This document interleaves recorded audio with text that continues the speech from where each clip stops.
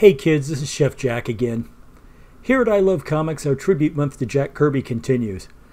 But before I get started on this video, I want to apologize ahead of time if I sound a little rough. I've got another head cold, and I'm recording this while I'm all congested.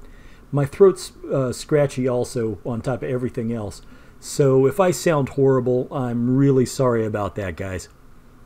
So let's play a game of pretend.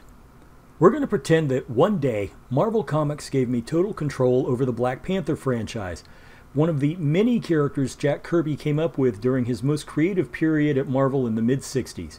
Marvel's going to allow me free reign to do whatever I wanted with the character and with the titles. So, given all that, the question arises just what would I do? I'm glad you asked. Pull up a chair, I'm about to tell you. Just as an unrelated piece of trivia, by the way, uh, I was doing some research for this list and I discovered that a completely unrelated character, also named Black Panther, was one of the very first non cartoonish, non offensive, non caricatured black characters ever to lead his own title, way back in 1947. The original Golden Age Black Panther character was created and published by a short lived company called All Negro Comics. They were the very first comic book publisher whose owners, editors, writers, and artists were all African Americans. Just a little bit of history of comics trivia for you folks. Anyway, let's get back to the list of things that I would do if I was writing Black Panther. Number one, there's going to be two different Black Panther titles. There's going to be the primary title, entitled Black Panther naturally, which deals with T'Challa and his adventures as a superhero in and around the uh, Wakanda and the rest of Africa. And then there's going to be the legacy of, of the Black Panther, which is going to tell the stories of all the other people throughout history who've held the, the, the, the name Black Panther and the powers of the Panther spirit. And it'll tell their adventures. And some of those adventures will be in the past, some of them will be closer to the present. Um, you know, there's a lot of uh, storytelling potential there, so I think we should look into it. Number two, no more racist bullshit. No more racism at all. None. No more of this uh, uh, modern Western industrialized culture is morally corrupt because it's being run by white people. No more of the every other group of black people in Africa are nothing more than savages not worth to be spit upon. No more, no, we're not going to share our cancer cure with the rest of the world because they aren't Wakandans who are the greatest race of people on the planet. You know, all of this was present when Reginald Hudlin wrote the title, It's Out the Door. Also, no more jokes about mayonnaise stores. No more of having every single white or Asian person who shows up in the comic book being an obviously suspicious, untrustworthy, casual racist asshole, which is how Ta-Nehisi Coates portrayed him. None of it. We're not going to have that kind of thing in this comic book. Number three, this Black Panther is not going to be a Mary Sue. The way that Christopher Priest and Reginald Hudlin, and especially Ta-Nehisi Coates, have been writing him the Black Panther is an unbelievably pure, unbelievably awesome, unbeatable fighter who is never wrong and is always right. He can think his way around corners. He can certainly outthink you. There is no one he can't beat in a fight. And he's the richest, most handsome man on the planet. Everybody loves him. He's got supermodels waiting to have sex with him. And on top of it all, you know, he's a brilliant economist and he's a he's a fantastic scientist in his own. His farts uh, you know, smell like dandelions. His dandruff cures Ebola. Yeah, well, not anymore. My Black Panther is going to be an actual human being with all the standard flaws of an actual human being. He's not going to be a horrible person. He's not going to be an asshole. But by all means, he's not going to be this saint that uh, Hudlin and Coates and Priest have presented to us. Number four an African superhero dealing with African problems. Africa is a huge place. Um, it's much bigger than the United States. Even if we restricted the stories to the hypothetical borders of the fictional kingdom of Wakanda, there's still plenty of possibilities for adventure out there. I mean, you, you've got uh, uh slavery, mysticism, organized crime, corruption, monsters, uh, evil corporations who want to exploit the landscape for, for resources, uh, warlords with private armies, lost kingdoms, uh, monsters, white supremacists for crying out loud, and so on and so forth. There's absolutely no reason for the Black Panther to spend so much of his time in the U.S. condescending to Americans about how much they suck and how great Wakanda is, like is going on right now in the currently published Black Panther title. He should be back home, keeping Ulysses Klaue and the Roxxon Oil Company from overthrowing the Wakandan monarchy and stealing all their vibranium. So that's what we're going to do in this comic. We're going to have him stay at home and be a local superhero.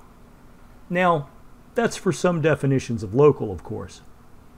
Number 5. Wakanda is no longer the most technologically advanced country in the world. Sure, it's the most advanced country on the continent of Africa, but not in the entire world. Uh, this is a bit of, the, of a continuation of the no Mary Sue's policy, uh, because, you know, while Wakanda has always been a so called modern country in comparison to the rest of Africa, that's all it is. It's a successful modern nation that relies on its vast mineral wealth to help it succeed. Plus, this is going on in the same universe as my If I Wrote the Fantastic Four if you've got Reed Richards in New York City and he's continually pumping out new technology that's making, well, the United States, for one, a, a more advanced, uh, better society, there's no way Wakanda can keep up because, like I said, Reed Richards is the brightest, most advanced thinker on the planet, and it's Reed Richards from whom all the uh, technological innovation is coming, not from anybody in Wakanda. Sorry, guys, that's just the way it is. Number 6. T'Challa is no longer king of Wakanda. His father T'Chaka is still alive and is still on the throne. Not only is T'Challa not king, he's not even first in line. He's going to be the youngest of the king's 11 children. And the reason for this is pretty simple. Uh, if he were the king, he'd have no time to be a superhero. I mean, think about it for a minute. Wakanda is not an English style constitutional monarchy where the king is basically a figurehead who rubber stamps policy that is set by parliament. It's a direct monarchy where all of the important decisions are made directly by the king. Every single law is decreed by the king. There's no uh, parliament there. Yeah, he's got a council that advises him, but when it comes down to it, he makes every single decision. And if there's one thing that is absolutely true about the leaders of modern nations, and we've already established Wakanda is going to be a modern first world nation, even if it's in Africa, is that the leaders of those nations have precisely zero free time. When is he supposed to be a superhero if he's the king of a modern nation? He can't. He can't. So, yeah, he's not going to be king. He's going to be the child of the king that doesn't have any responsibilities and thus has all the free time in the world to fight crime in a costume using a fancy name. Number 7. T'Challa is an idealist who sees the rot inside his own country and has to deal with it. As a uh, uh, result, he has to balance his love and loyalty for his father and his loyalty to his country and his approval of a lot of his father's policies with doing what he thinks ultimately is right Okay, this is going to require a bit of, uh, of uh, explanation. First, everybody has to realize that this Wakanda, the, the Wakanda that we're going to be writing, is basically a military dictatorship. I mean, it should be obvious. Wakanda is ruled by a patriarchal line of absolute monarchs. It is a regional superpower that is at least as dominant as South Africa is in the real world. Um, according to what the government of Wakanda says there's no civil unrest, there's no civil war, there's very little poverty, there's almost no sickness. Uh, people are happy, people are always happy. Um, there's also no politicians except for the royal family, and those guys aren't elected. The everyday functions of the government are handled by a bureaucracy that works for the royal family. So, how did this one African nation achieve such a paradise when its neighbors are all third world shitholes? Well, it should be obvious by using fascism, a benevolent form of fascism. I mean, let's look at it. Being a criminal is harshly punished. While some dissent is allowed, there's a limit, and going past that limit is harshly punished. Not following along with the program is harshly punished. And by the way, all of this follows the political philosophy of the quote unquote strong man, where an authoritarian figure imposes his will on a society by way of authoritarian means. A very popular uh, political ph- uh, philosophy in Africa. The Wakandans have just somehow managed to avoid the problems that have led to people like Adolf Hitler and Pol Pot and Robert Mugabe. Um, the second thing is Wakanda likes to describe itself as a paradise. You know, no crime, no poverty, no unrest, no dissent. But it's not because there's no crime or no poverty or no unrest or no dissent. It's because it's because the government sweeps it all under the rug and makes sure that you know there's not a lot of uh, poor people in the major cities. There's no homeless people living in the capital city. They're all you know shoved into trucks and driven out into the countryside. Also, the government refuses to acknowledge that there is a very active criminal underbelly in Wakandan, in Wakandan society due to the growing gap between the haves and the have nots. It's along this backdrop that T'Challa, who, like I said, is an idealist, is going to have to act as a superhero. Sometimes he's going to be acting against his father's own government just so he can help the people because he is more interested in helping the people than he is in protecting Wakandan society. It's going to be, you know, some interesting stories. Number eight, African politics. I'm not even going to make the attempt to try and fit Wakanda onto the real African map. Instead, what I'm going to do is I'm going to be replacing, or, or at the very least, carving huge chunks out of a lot of real world countries to set the environment uh, for Wakanda. Wakanda's neighbors are all going to be just as fictional as Wakanda itself, and that's going to make it easier for us. But about those neighbors, um, each one of them is going to have an influence on some of the stories, and some of the stories are going to be involving those na- those neighboring countries also. So let me tell you about them. The first one is Azania. Azania is a failed state with a nominal government that can't control the petty lore, the warlords who are fighting over internal territory most of the outside threats to Wakanda are going to come in from this direction because it's easy to bribe or ally yourself with a warlord just long enough to get in through their territory and make a raid across the border. The UN keeps talking about sending uh, peacekeeping troops into Azania, but it's all being held up in debate. Next, you've got Canaan. Canaan is a brutal dictatorship.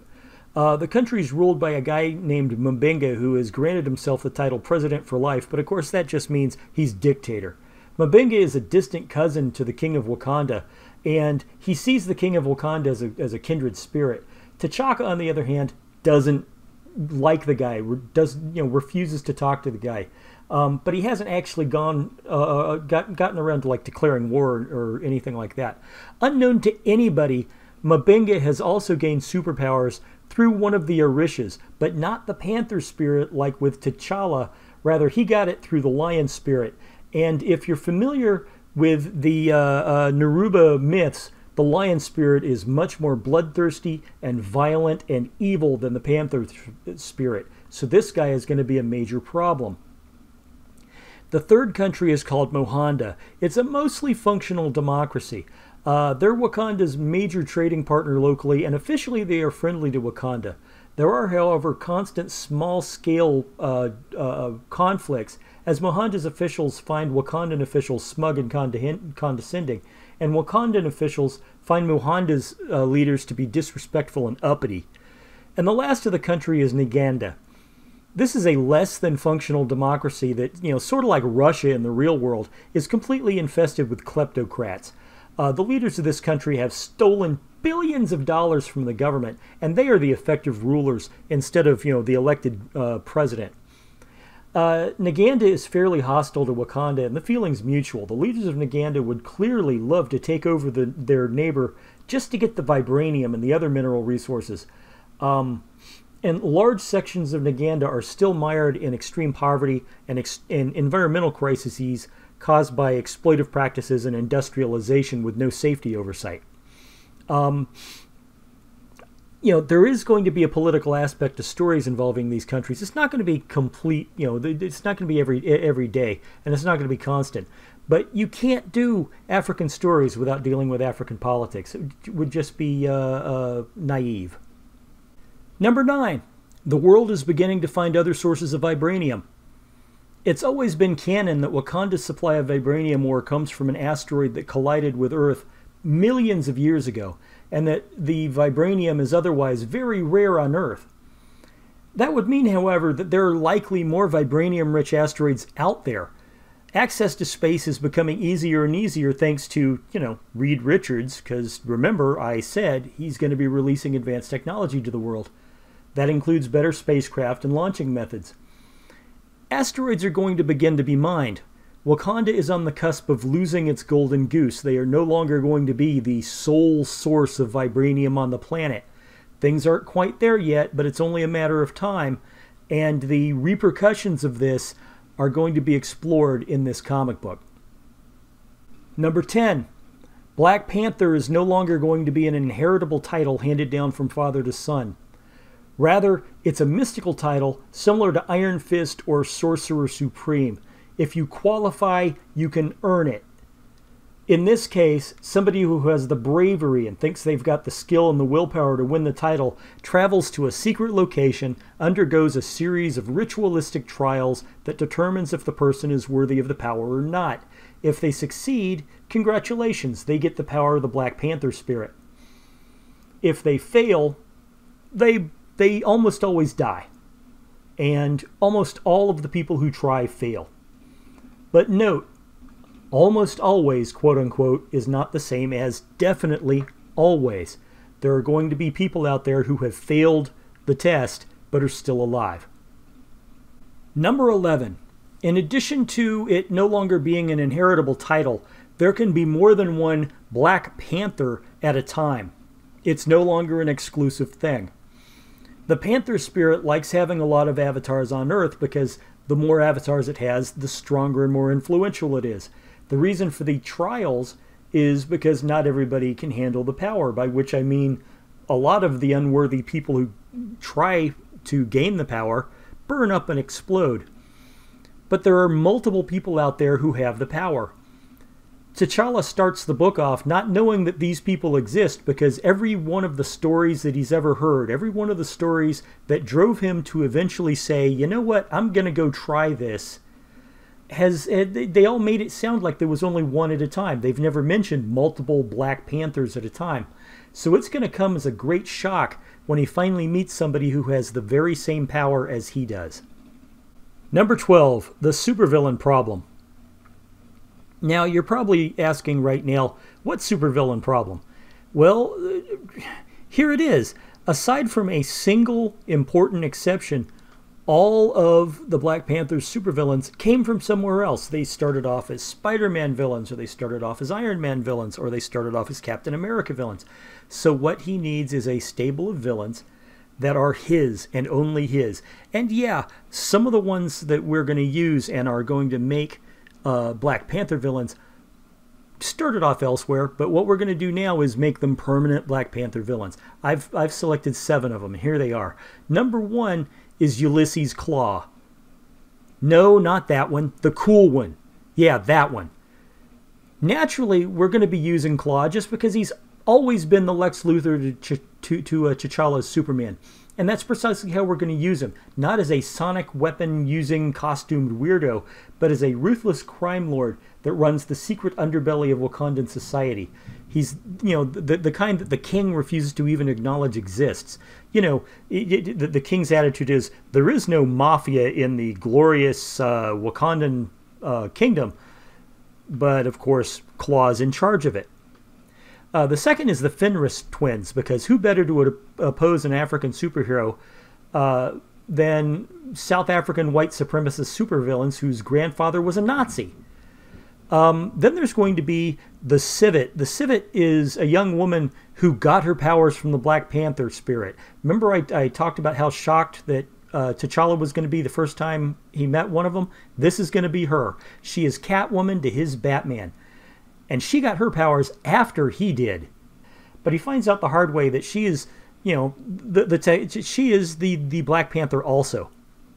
There's going to be Mo- Moses Magnum. In case you don't recognize him, Moses Magnum is a mutant from Ethiopia whose powers allow him to generate and control vibrations. Now, what makes him dangerous is that when done on large scale, that means he can create earthquakes. He's an arms dealer and he's a terrorist. And he really should be a bigger deal in the Marvel Universe, but he's not. Then there's going to be Kraven the Hunter. Now, yeah, I know he's a Spider Man villain, and I know he's dead, but who cares? We're going to bring him back to life. And, I mean, what is more appropriate for an African superhero than facing uh, a character who exemplifies the, the great white hunter stereotype? Then there's going to be Ayesha. Ayesha is the immortal queen of Noor, which is a hidden mystical kingdom that exists in a different dimension and is only accessible through a gateway found in Wakanda. She and her kingdom was banished from the earth into a di- different dimension 3,000 years ago by the Sorcerer Supreme of the time. She wants to come back to Earth and reclaim her, her rightful place as Queen of all Africa. And she's got minions, lots and lots of minions. And last but not least, you've got the Roxxon Oil Corporation. Roxxon's been the source of evil and badness in Marvel since the 70s, and they fit perfectly as bad guys for our new series. They want to exploit Wakandan resources, especially the vibranium. Wakanda would basically be screwed if they ever succeeded in getting it, so naturally they make fantastic bad guys. And lastly, number 13. The marriage to Storm never happened. Storm had been an X Man for nearly 40 years before Reginald Hudlin came along and started his entire idiotic marriage plot. It was, it was an unnecessary retcon for both the Black Panther and for Storm. And besides, do you know what the odds are that Ororo Munroe, who is supposed to be of Sudanese British descent and who grew up in Egypt, accidentally ran into a young T'Challa whose childhood was spent in the area around Lake Victoria when they were children? That's a difference of more than 3,000 miles, folks. The US is only 3,100 miles across at its widest point, so this would be like a kid in New York City accidentally bumping into a random kid in Los Angeles and then staying in love with them for their entire childhood and their teenage years all the way into adulthood just so he could go back and marry her. It's just not going to happen. It's it's ridiculously unlikely and it's silly and it's not going to happen. So yeah, no marriage. Not to Storm. So there you have it, ladies and gentlemen. If I wrote the Black Panther, what do you think? Do you, do you did you like it? Did you hate it? Do you think I'm full of it? Do you think I'm right about some things and wrong about others?